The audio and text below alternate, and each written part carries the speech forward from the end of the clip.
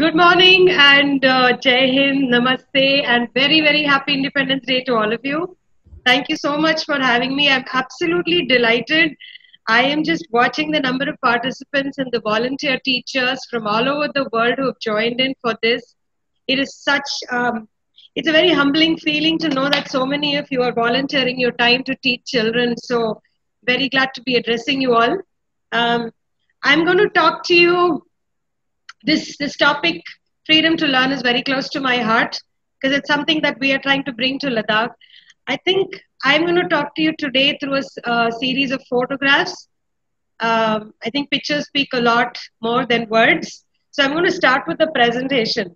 I want to talk to you about freedom to learn in a remote area like the indian himalayan uh, mountain regions where freedom to learn means something completely different something that i bet most of you would not have thought about 17,000 feet. Um, before you understand, I have to talk to you a lot about Ladakh. I'll show you, uh, share with you a little bit about what Ladakh is and what freedom to learn means for children in these very remote regions. Starting with the video. Can you hear the audio? I can play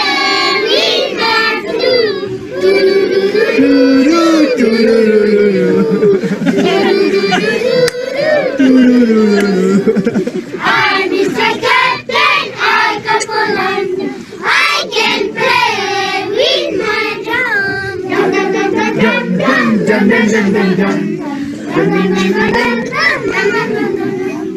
I'm Mr. Captain I can play with my guitar.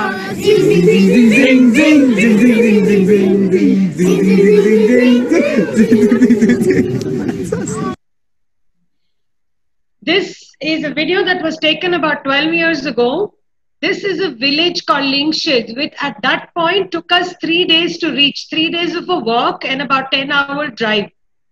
Um, today, this, as of last, I think, month, there is a road that has almost reached the village. These little children are part of a school which has 100 students, the entire school. For Ladakh, that is a very, very large size. This village remains shut off for about six months of a year due to very harsh winters. These children are singing a song in English. Uh, many, many guesses as to where they learned this English. This English has been taught to them by passing trekkers or travelers who pass through this village because they come to Ladakh for trekking. The freedom, the hunger to learn has come in when, when villagers stop passing trekkers and mountaineers and say, please teach our children, we want our children to learn and grow. We want them to learn English. 17, I started 17,000 feet on a similar journey uh, 10 years ago on a solo trek. And this is a picture of me. I want you to get to understand this. This is a picture of me trying to cross a river. This is the only way to cross a river. I'm sitting on a little box made of plywood. Uh, there is no road to reach the other side. Once I cross the other side, phones don't work. This is the kind of, I, I was on a trek for about seven days, and this is lonely paths like this that I walked on for ages. I had no idea what I was giving to. As a background, I come from a corporate sector. I had quit to start working with children. I was teaching uh, uh, in a very good school, and that's when I went on this trek. This is a school I ran into. This is the entire school. And that is one of the two teachers who himself hailed from a very far village, but he was transferred here so he stays here uh, for about six to seven months and then he goes back once or twice a year to collect midday meal supplies, textbooks for his children, and so on and so forth. Every single child in this village goes to school, including a little baby who comes to school for the midday meal. This is uh, when I came back, I was very flabbergasted when I saw this. I said, How is it that we know so little about these schools? I want to show you some pictures about how um, there were the flash floods in August of 2010, and I decided to do some relief work. This is a picture of us taking supplies to that very remote school that I first showed you a picture of. We were carrying supplies. This is a truck. We're on, almost on top of about 18,000 feet altitude. It's difficult to breathe. You won't understand it, but the temperature at this point is much below 20 degree minus. We were carrying things on uh, uh, in the truck, but here's the thing We could not move beyond this point. I know you can't see it, but can you, if uh, my car is somewhere out there, we had to park this car here and then we had to walk the rest of the way on foot. Here is the car. How do we carry the rest of the supplies? We were carrying a lot of books, uh, uh, library equipment, furniture for the school. The only way to reach the last mile, the villagers came out in full hordes with their mules and donkeys to help us carry the last mile. There were 25 horses, almost a ton and a half of equipment. This is the same school with 100 children who had been waiting there for almost three hours because they knew that there was a team of people coming there with books for them to read. They waited there for three hours. Phones don't work here. There was no way to tell them that we are only half an hour away. So these children were waiting for three hours so that they could greet us. This is some of the stuff that we carried. and this is how all those, the furniture, the children here sit on extremely cold floors. The school, the schools are open even in minus 20, minus 15 degree winters. But the excitement was so high that their school will now have, for their children, will now have something to sit on. Each child carried his or her own uh, desk and bench and walked the last mile. There is no way. Reaching education to the last mile in these areas, it takes on a different meaning altogether. so I started 17,000 feet with a vision of trying to reach and allowing uh, reach education to these uh, to these children in these remote uh, areas and and to give them the same opportunities that children elsewhere have. So here is i'm sorry uh, we started off in ladakh which we decided ladakh since i had done a relief operation there and ladakh is arguably the toughest and the most challenging geography that it has ever seen. So we i decided that if i can pilot and i can run a model like Mr. Ramachandran also said, figuring out what the model is, is I think the hardest challenge. So we decided to start work in Ladakh. I roped in my husband and one of our Ladakhi uh, friends, and we started 17,000 feet. I want to give you a sense of what we do. So we work with high altitude frontier communities to develop them into self-sustaining regions. In one of the biggest regions, these communities are falling apart is because of the lack of quality education and people are migrating simply because they believe they don't have access to good quality education which has been the truth for many for many years. This is some pictures of how people even today travel in ladakh. There are no roads. There are actually hundreds of villages beyond these couple of mountains. So you still have to walk climb trek or go on a mule. This is a picture of a very centuries old village this has been around for a few hundred years. These are home to sustenance farmers. As you can see, it's pretty barren land, but there is a school there. And every single child in that village goes to school and aspires for a good job. Every family there wants their child to have a good, decent government job. This is a picture of that village as seen from the other side. They don't want to migrate. They're happy people. They're happy here. But if they do, it's because of education. As you know, everybody knows about Ladakh for seasonal tourism, but this, these are tourist vehicles. There are, there are villages right next to this famous lake that I bet all of you have seen. But most of the children who belong to those villages have never come to this lake because they don't have the means to come there. Every year, there are about 300,000 people who visit it. This region has 1,000 schools. The average school strength is barely 25 children. And as you can see this, this is a, school on a, on a China border. This is the entire school. This, this school has, has 40 kids and just beyond those mountains is a China border. The interiors look like the interiors of any other school except when children have to sit on the stone cold floor or the wooden floor which is on minus 15 degrees, things take on a different meaning. Um, every child comes to school even in minus 15 degree winters, even if he doesn't have a, a decent shoe to wear. That is the freedom and the desperation to learn that children of Ladakh have. Here's another picture of a school. It's isolated simply because the villagers want their children to not be disturbed by the sounds and uh, the lifestyle of the villages in Ladakh. Here's a picture of children in, in some other area. It's open in winter. These are all children who've queued up to come into school. The whiteness blinds you. But these children run, play. I have videos that I could show you, but I will not get into it right now. I have to show you this picture. This is a picture of a father trying to cross a frozen river because he wants to take his child to a private school in the city. This is the most dangerous thing one can do. And this today is a very prominent uh, a trek for all aspirational trekkers out there. It's called the Chadar Trek. What is a Chadar Trek? What is aspirational adventure for people outside is a lifeline for people in the Zanskar region.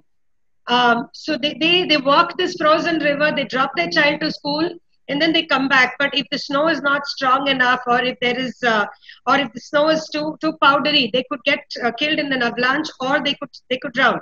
And this has also happened. This is a desperation of, of parents to get their children to school because they believe the schools in the villages do not have great schools. And that's where 17,000 feet comes in. Oh, I will share with you this little video. Uh, excuse the, this thing, this was taken by me by hand. This is a picture of snow covering in Dras. You must have heard of Dras. The, the snow has reached the second floor.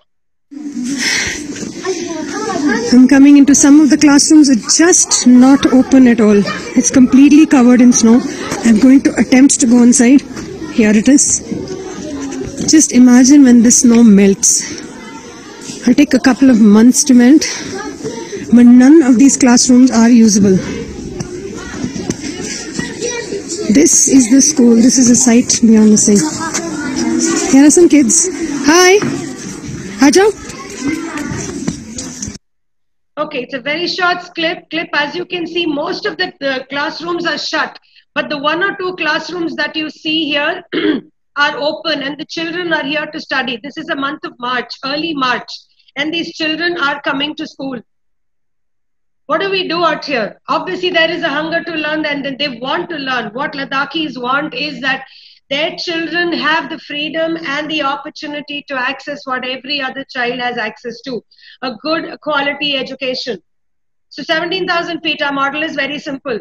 We want to tell people about these villages. We want to tell, uh, we want to direct development into, into these villages. We want to improve these schools so children don't have to migrate. So, fathers don't have to walk the frozen river and drop their child uh, to faraway town. Sometimes these children are as young as three years old who stay away from their families and they drop out of school after the fifth grade or the eighth grade.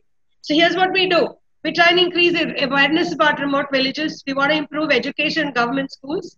We're also trying to create opportunities for income. That's the second reason why uh, people migrate. So here's a little peek into what 17,000 feet does. The first thing we did was we went to each one of these thousand schools. It took us seven months. Some of the schools we didn't know how to find. Our team is locally Ladakhi. I have two teams, two offices in Leh and Kargil. Leh and Kargil are the two districts. So we geo-mapped each and every school to find out really are there that many schools? This is the most amazing fact that we saw. Out of the thousand schools that we saw, and it didn't matter how far or how remote the school was, every single child of every single village was in attendance and was going to the school.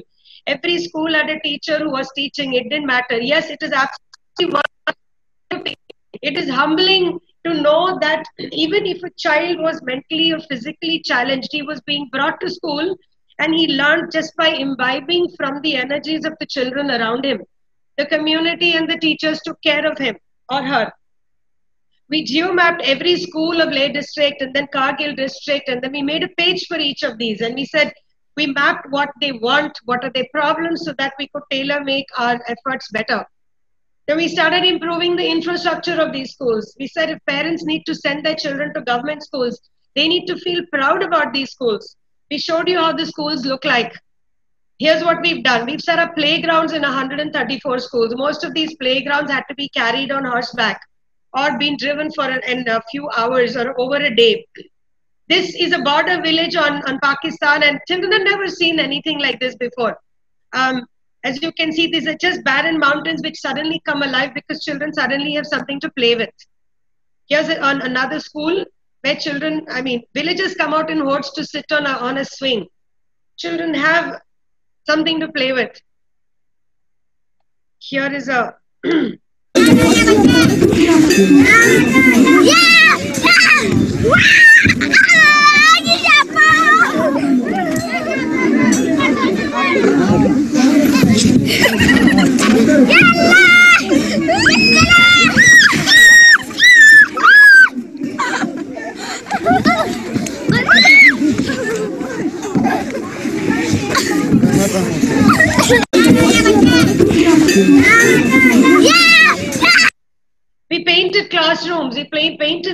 We give them paints, and the entire village comes out to paint them in different colors to make it more attractive. The sense of community in these villages is really is, is extremely touching to see how they come forward.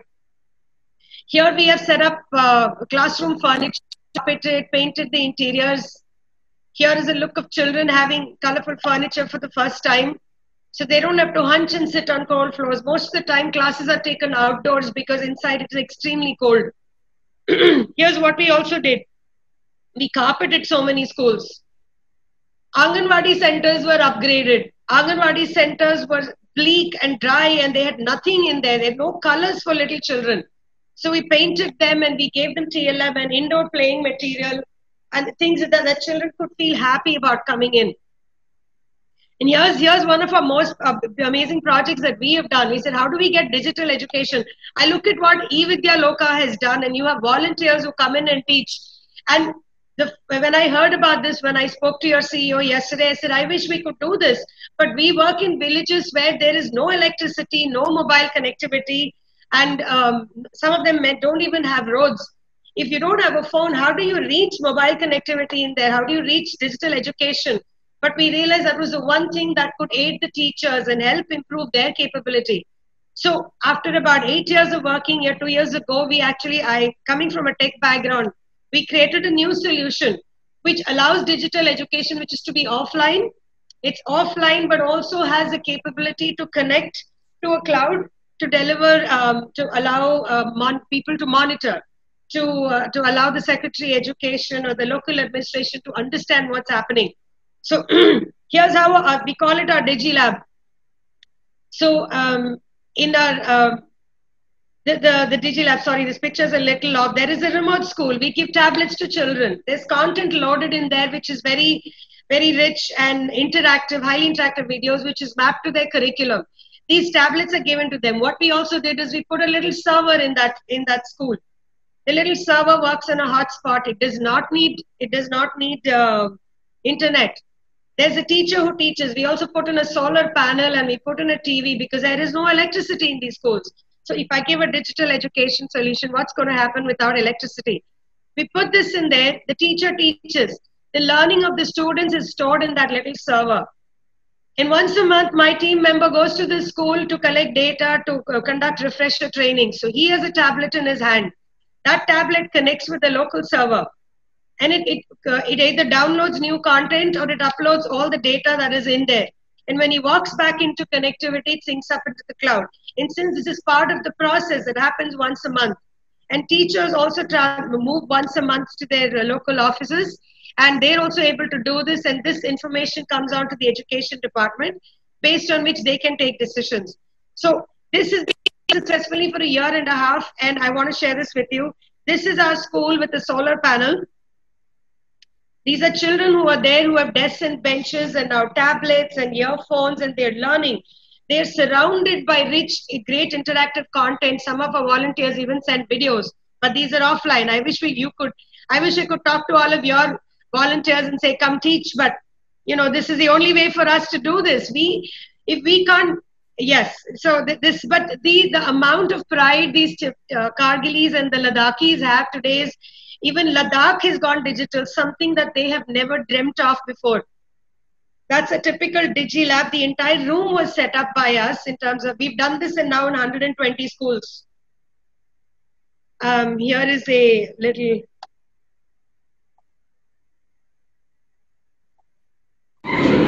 I buy. Ah. Nasıl se?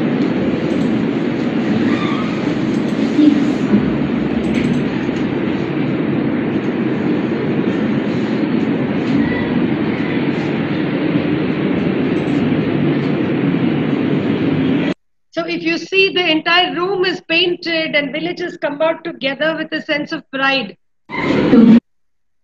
What we've also done, we've set up libraries in so many schools, in about 200 plus schools. They'd never seen storybooks before we came to them. These are children reading uh, books in various different languages. This is also a centrally heated library that we've set up. These are children reading in the heart of winter, this is minus 25. but we want to promote reading. We've also translated books in the local language. I train teachers in the winter. So any of you volunteers and eVidyaloka, I'm asking you the same thing as well. The kind of curriculum and the stuff that you've developed, please come in. Come help us train teachers in the middle of winters. The only caveat, it's minus 25. So it, it shouldn't be too bad. You'll get used to it. so the last thing I want to leave you with is also all of this takes funds, all of this takes knowledge. People don't know about Ladakh. You can walk into a government school in your backyard in Haryana, Delhi, Bangalore, Chennai. But how do you know what is going on in Ladakh where it takes you three days to reach? So we also created a program called, it's an outreach program that we have. We actually invite outsiders to say everyone wants to go to Ladakh. We know you want to go to Ladakh. It's one of the most uh, happening places today. But rather than be a tourist, can you be a volunteer tourist? Come and spend 10 days with us. Um, and rather than just be a tourist, spend a day or two being a tourist, and the rest of the day we train you. Conduct those, we have curriculum that we developed. Spend four, five days at a village. Stay with the local family so that there's income for the local family. And you go teach, just run our library programs for us and help, help these children gain a sense of exposure. They have never seen anything uh, outside the world, outside their little hamlets and mountains. So here's a picture of a reading program. This is the entire school listening in rapt attention because they never had storybooks and they never seen a person outside who doesn't look like them. This is the kind of villages that you will stay in. Um, I mean, we reached out to some 170 villages, uh, 10,000 villages mobilized. This is a typical homestay family. They get income because you go travel there. Otherwise, tourism doesn't does not reach them. 17,000 feet works in those villages where there is no tourism.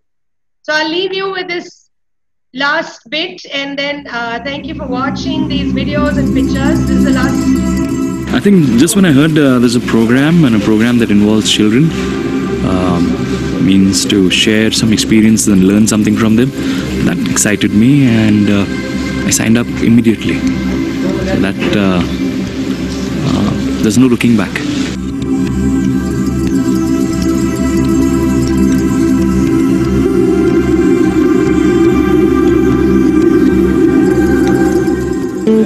volunteer at such a location where there's actually a need and it's not namesake volunteering really got me uh, coming here and participating for this opportunity.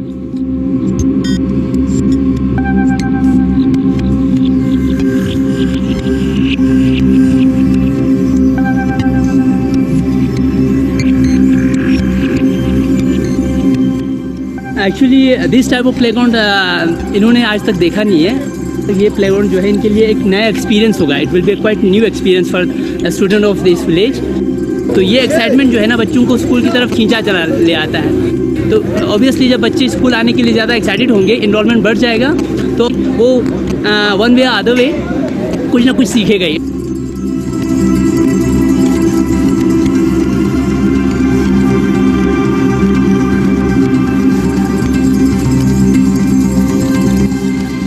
given the life that we live in cities and uh, given a chance to do this i would recommend everyone to do this at least once to see a totally different side of life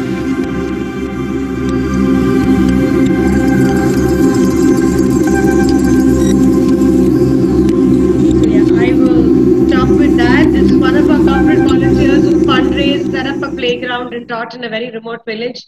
Today, we've managed to reduce student migration by over 50% in the schools we work in. Enrollment is increasing 30% to 20 to 30% every year. Very grateful for all our supporters and volunteers. We have about 500 volunteers who come in for these 10 day trips. Most of them are Indian, and even the Indians who live abroad are, are in India. So, this is what it is. And um, thank you all for watching and listening. We hope that what we've done in Ladakh we can carry to similar other inaccessible regions of the world. And that's what 17,000 feet stands for. So thank you, Jai Hind. Thank you.